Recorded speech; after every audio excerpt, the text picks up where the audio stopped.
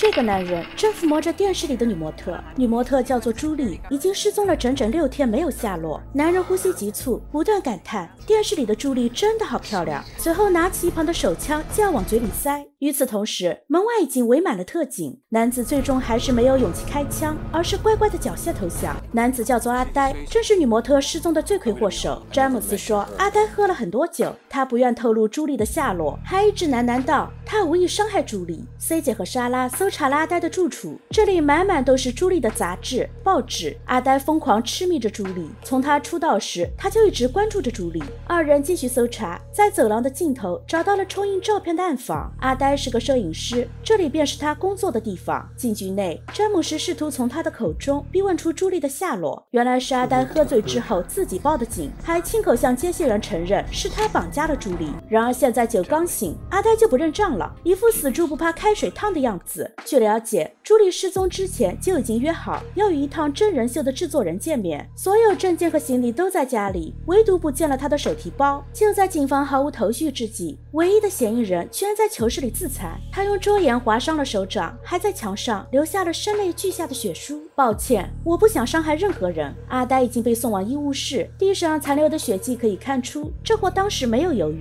似乎是蒙受了很大的冤屈。包扎回来的阿呆看到 C 姐的第一眼就为之着迷，眼前审讯他的莎拉虽然有着傲人的身材，可她显然不是阿呆的菜。阿呆毫不客气地要求莎拉退场，换金发碧眼的 C 姐来审问自己，否则他什么都不说。警方无奈，只能答应了他的请求。这货也算说话算话，他带着 C 姐和警方来到了一片荒郊野外，嘴里还直得比得得比得，一会儿说 C 姐的头发好看，一会儿又说她身材很好。由于阿呆说失踪的朱莉就被藏在这里的某处，老吉带着警员开始了地毯式搜查，甚至用上了警犬，可一直到太阳下山都没有找到朱莉。阿呆一副憨憨的样子，说自己可能是记错了，还突然改口说自己从来没有见过朱莉，也没有绑架过朱莉。这货一直盯着 C 姐，冷冷的笑，笑得 C 姐心里发毛。组员们甚至怀疑，或许阿呆与朱莉的失踪无关，这货只是因为痴迷朱莉产生了幻想。倒是莎拉很不高兴，因为阿呆吐槽莎拉没有 C 姐漂亮不说，现在 C 姐插手自己的案子，抢走了她的功劳，这会让莎拉今后的升职加薪大受影响。关键时刻，老七还是选择挺 C 姐。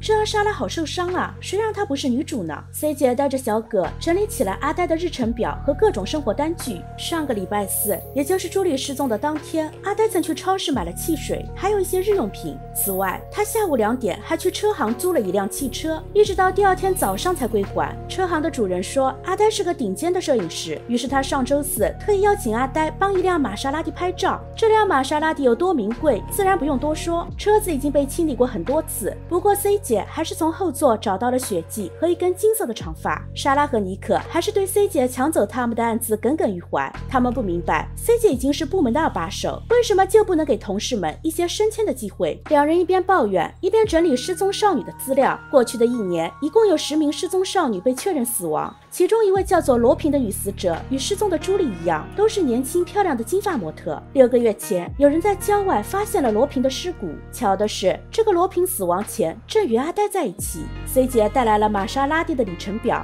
案发当天，阿呆曾驾驶那辆玛莎拉蒂跑了一百三十三英里。此外，小葛还调查到，阿呆当天还买了一把铲子。众人猜测，朱莉早就被阿呆给杀了。不只是朱莉，就连第一位失踪的少女罗平也是阿呆杀的。警方根据阿呆的的。路线推测出了阿呆的埋尸地。经过一番地毯式搜索后，他们终于在一堆乱石中找到了朱莉的尸体。尸体上压着很多石头，仅仅露出了一只手。经过一番挖掘，尸体的其他部分渐渐展露了出来。她就像是童话故事里的睡美人，一个寻梦少女，好不容易迎来了事业的上升期，却遭遇变态摄影师杀害埋尸。好在埋尸的地方比较特殊，这里既干燥又无比的寒冷，像冰库一样，很好的保存了尸体。听说警方找到了尸体，阿呆非但没有惊慌，反倒一脸替 C 姐开心的样子。阿呆是个很有名气的摄影师。他说是朱莉主动联系自己，说自己的宣传照用完了，请求阿呆能够帮忙多拍几张。阿呆说朱莉的死是一场意外，案发当天他开着租来的玛莎拉蒂带着朱莉去野外拍照，倒车的时候一个不慎，居然把朱莉给撞死了。为了逃避责任，他只能就地掩埋了朱莉。既然是拍照，那必然会留下底片，可阿呆却有一副回避的态度，声称自己忘记底片放在哪里了。阿呆简直就是谎话连篇。他说自己倒车时不小心撞死了朱莉，可验尸结果却显示朱莉不是被撞死的，而是体位性窒息，是阿呆坐在朱莉的胸口，把她给活活闷死的。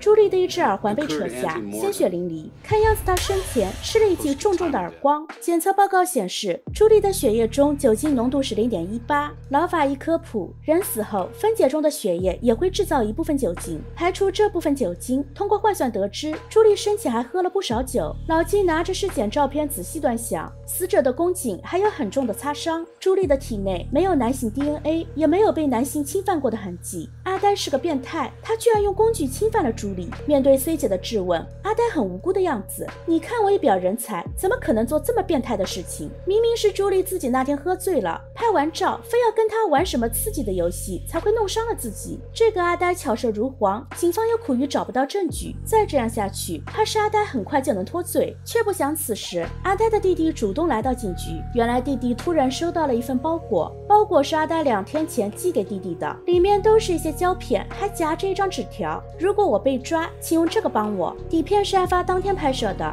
阿呆没有撒谎。照片中的朱莉看起来很开心的样子，然而 C 姐却发现不太对劲，因为照片中的朱莉丝袜破了，鞋子也坏了。一张仪表盘的底片中还有一个重复曝光的裸女，那么这个裸女会是死去的朱莉吗？警员拿来了阿呆家的垃圾桶，里面有很多朱莉从前拍摄的宣传照。阿呆声称朱莉是因为宣传照用光了，才主动要求自己拍照。很显然，阿呆在撒谎。此外，垃圾桶中还有很多卸妆湿巾，还有朱莉的日程表，以及朱莉随身携带的背包。背包里都是一些换洗衣物，其中就有朱莉被害当天穿的丝袜。丝袜上有血迹以及被扯坏的大洞。这件丝袜价值六十五美金，也就是四百人民币。女模特为了拍摄出最好看的照片，总是会下血本投资自己。C 姐穿上了同款丝袜，并进行了血滴滴落实验。丝袜上一共有两滴血迹，一滴在脚背，一滴在脚掌。通过实验确定，死者当时被阿呆一巴掌打落了耳环，才会造成耳朵上的血迹滴落在了丝袜上。难以想象一个单身女性面对一个恶魔，内心该有多害怕。另一边的阿奇和尼克正在研究胶卷中重复曝光的底片，这是一种拍摄技巧，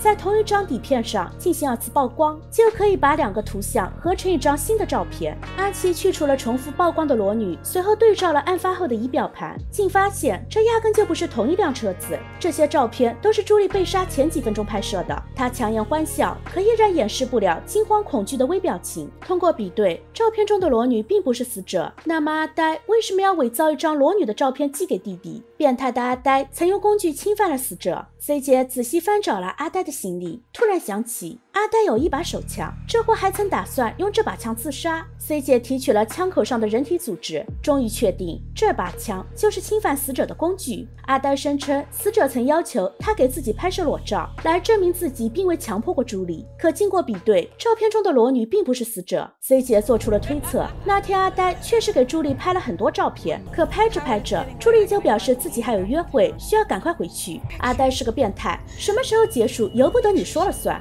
于是他殴打了朱莉，鲜血溅在了朱莉的丝袜上。随后又掏出了枪，侵犯了朱莉。阿呆有很严重的精神问题，他在杀死朱莉之后也曾后悔过，于是才会出现了开头的一幕。他报案自首，还想畏罪自杀，可酒醒后他又突然不想死了，便开始不断编造谎言，企图掩盖罪名。好在 C 姐曾经是个脱衣舞娘，她很清楚该如何对付男人。她一边与阿呆周旋，一边提取证据，最终将阿呆这个变态狂徒送进了监狱。阿呆靠着这种手段杀死了两位女模特，数罪并罚。罚死刑肯定是毫无悬念。讽刺的是，朱莉生前拼尽全力想要出名，直到死去才真正的爆红。她如此惧怕阿呆，却注定要与阿呆的名字捆绑在一起一辈子。本集故事到此结束。朱莉的扮演者是一九七八年出生的杰米·雷纽曼，她曾在《邪恶力量》第一季第四集中扮演一个空姐，《东镇女巫》中饰演五个孩子的母亲凯特，《都市侠盗》第一季第三集中饰演艾米，